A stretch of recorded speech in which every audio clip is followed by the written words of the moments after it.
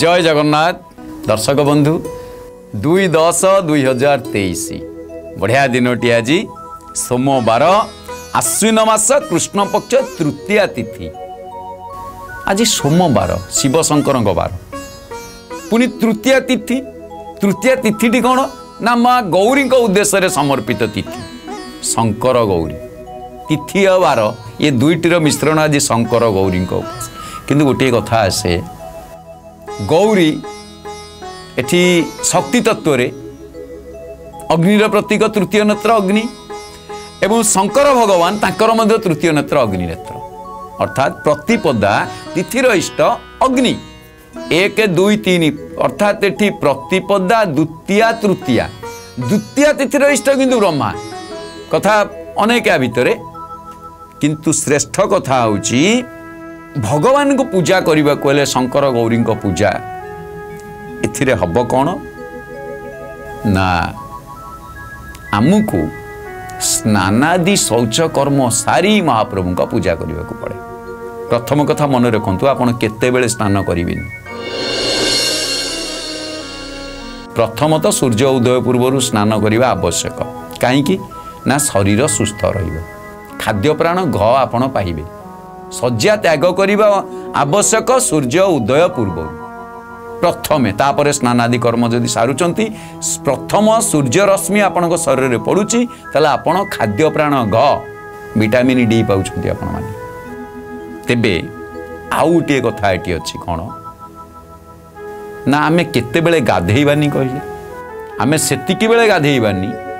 କୌଣସି କାରଣବଶତଃ ଆମକୁ ଭୋକ ଲାଗୁଛି ଯଦି ଆମେ ଖାଇ ଦେଉଛେ ଖାଇସାରିକି ଆପଣ କେବେ ହେଲେ ଗାଧେଇବେ ନାହିଁ ମନେ ରଖନ୍ତୁ ଖାଇବା ପୂର୍ବରୁ ଗାଧେଇବେ ଖାଇସାରି ଯଦି ଗାଧେଇବେ ତାହେଲେ ଅଗ୍ନିମାନ୍ଦ୍ୟ ଦୋଷ ହୁଏ ବଦହଜମି ବିଭିନ୍ନ ପ୍ରକାର ରୋଗ ଖାଇସାରି ଗାଧେଇବା ଦ୍ୱାରା ହୁଏ ଆବଶ୍ୟକ ପଡ଼ିଲେ ଆପଣ ସକାଳୁ ଉଠି ଯେଉଁମାନେ ବିଲକୁ ଯାଉଛନ୍ତି ସେମାନେ ଗାଧଉନାହାନ୍ତି ଆଉ ମୁଗ ଓପାଡ଼ିବେ ବିରି ଓପାଡ଼ିବେ କାକର ପଡ଼ିଯିବ ଯଦି ନ ଓପାଡ଼ିବେ ତାହେଲେ ତ କାକର ଥିବ ଓପାଡ଼ିବାକୁ ପଡ଼ିବ ଖରା ପଡ଼ିଲେ ଟାଣ ହେଇଯିବ ଓପାଡ଼ି ହେବନି ଆଉ ଯିବେ କୁଆଡ଼େ ସିଏ ତ ସକାଳୁ ଗାଧେଇ ପାରୁନାହାନ୍ତି କିନ୍ତୁ ବରଂ ସୂର୍ଯ୍ୟୋଦୟ ପରେ ସେମାନେ ଗାଧେଇବେ ଚଳିବ କିନ୍ତୁ ଆସିକି ଖାଇସାରିକି ଯଦି ଗାଧେଇବାକୁ ଯିବେ ତାହେଲେ ରୋଗ କିଣିବେ ତେଣୁ ମନେ ରଖନ୍ତୁ ଖାଇସାରିବା ପରେ କେବେ ହେଲେ ଗାଧେଇବେ ନାହିଁ ଖାଇସାରିବା ପରେ ପ୍ରଥମ କଥା ମାନେ ଟିକେ ବିଶ୍ରାମ ଦରକାର। ଆପଣ କହିବେ ମୁଁ ପେଟେ ଖାଇସାରି ପେଟେ ଅପେଟେ ଅଧା ପେଟ ଏସବୁରେ କିଛି କାମ ନାହିଁ। ଗାଧେଇବା ପୂର୍ବରୁ ପେଟ ଖାଲି ରହିବା ଦରକାର। ହଁ ଏମିତି ଯାଇଛନ୍ତି କୁଆଡ଼େ ଧୁଆଧୁଇ ହେଇକି ଆସିଲେ ସିଏ ଅଲଗା କଥା ଆସିଲେ ଧୁଆଧୁଇ ହେଲେ। ଚାରିଟା ପାଞ୍ଚଟା ବେଳେ ସନ୍ଧ୍ୟା ସମୟରେ ମଧ୍ୟ କେହି କେହି ଗାଧଉଥାନ୍ତି। କାରଣ ଦ୍ୱିପରେ ଭୋଜନ କରିଥାନ୍ତି ସେତେବେଳେ ଗାଧେଇବା। କିନ୍ତୁ କୁଆଡ଼େ ଗଲେ ସେଠୁ ଆସି ସାରିକି ଆଗ ଖାଆ ପିଅ ସାରିଦେଲେ ତାପରେ ଗଲେ ଗାଧେଇବାକୁ।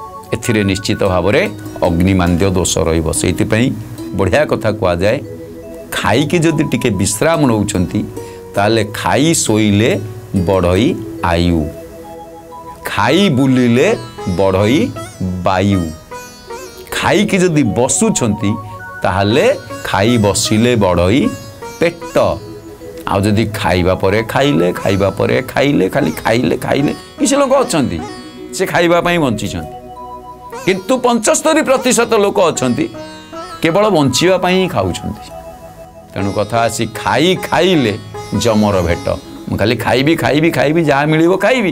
ଇଏ ସେ କେବଳ ଜମ ପାଇଁ ହିଁ ଭେଟ ହେବା ସହିତ ମାନେ ଜମକୁ ଭେଟ ହେବାକୁ ବି ଡେରି ଲାଗିବନି। ତେଣୁକରି ମନେ ରଖନ୍ତୁ ଆଜିର ଭକ୍ତି ସକାଳ କାର୍ଯ୍ୟକ୍ରମରେ ସୁନ୍ଦର କଥାଟିଏ। ଖାଦ୍ୟ ଖାଇବା ପୂର୍ବରୁ ଆପଣ ସ୍ନାନାଦି ଶୌଚକର୍ମ ସାରିଥିବେ। ବା ସ୍ନାନ କରିଥିବେ ଖାଇସାରିବା ପରେ ଆଦୌ ସ୍ନାନ କରିବେ ନାହିଁ ନିଶ୍ଚିତ ଭାବରେ ଆପଣଙ୍କର ଶରୀର ସୁସ୍ଥ ରହିବ